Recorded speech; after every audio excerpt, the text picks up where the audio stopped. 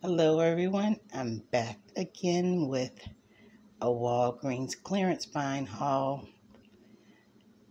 I went into Walgreens and started walking the aisles. You never know what you will find when you walk the aisles of Walgreens. Items that's on clearance, deeply discounted. Well, I remember there was a Zarbee deal going around. Um, there's a rebate. If you buy two, you get $5 back. If you buy three or more, you get $10 back. Also, coupons.com has a $3 rebate. I only have one, some people have two. A $3 uh, rebate cashback on Zarbee's. So I found the Zarbee's for incredible price. Incredible. The original price on the Zarbee's was $10.99. They were on clearance for 99 cents. Now, they do expire, I think it says in June. Let me see. I know I've seen the expiration date on here somewhere. Sorry. Oh, if I look at the bottom, that would help me. Yeah, they do expire in June.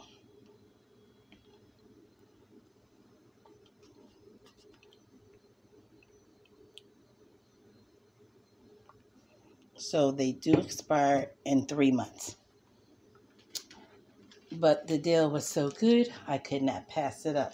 So with the Zarbee's alone, I did the breakdown on it.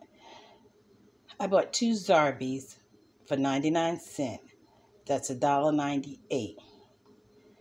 I used the coupons.com app to get $3 back, and I also submitted my receipt to the Zarbee's rebate I'll have that information linked below. And that's for $5. if that goes through, this would make Zarbee's $6.02 moneymaker. Fantastic deal. But if it doesn't go through, it's still going to be a dollar two moneymaker. Still fantastic.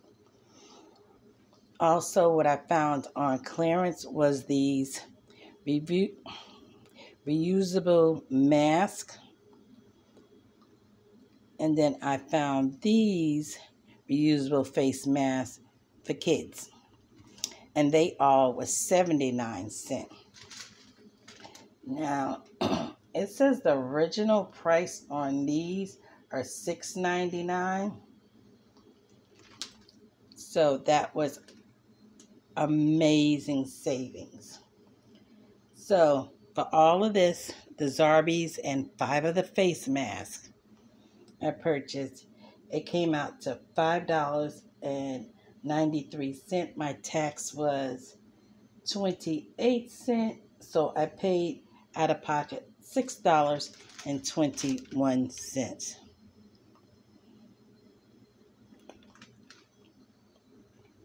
Okay, so let me do a quick little breakdown for you. Uh, like I said, I paid out of pocket $6.21. I used coupons.com app to redeem my $3. I sent and uploaded my receipt to the Zarbee rebate, rebate to redeem my $5. If that goes through for the Zarbee's, it'd be a dollar seventy nine moneymaker for all for all of, that I got. Now, what printed out on the register, which was unexpected, I didn't think I was getting anything back out of the Catalina machine, but it printed me out. The print is bad on his coupon, but a $5 off 5 or more manufactured coupon.